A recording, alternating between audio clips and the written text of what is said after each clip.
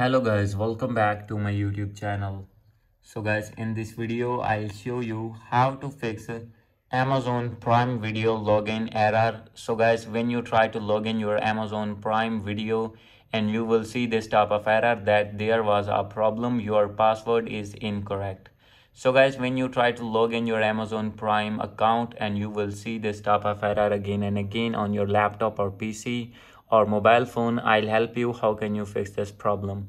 So guys you can easily fix this problem. So guys as you can see here i have opened web page on my browser. So guys simply you have to go back on your home screen. And guys after going to back simply you need to open your uh, app store in your device.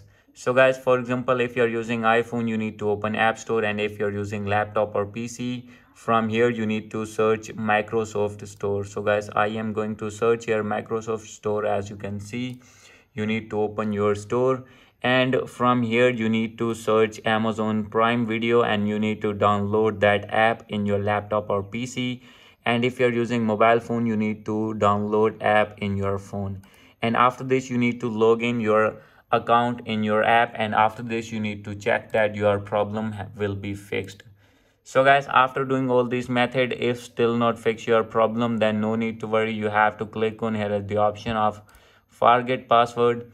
And guys now here you need to enter your email address or phone number and simply you have to click on continue.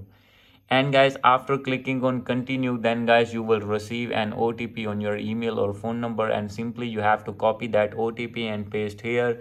And after this you can reset or you can change your password easily as you want so guys these are the possible ways to fix your problem. Hope you like this video.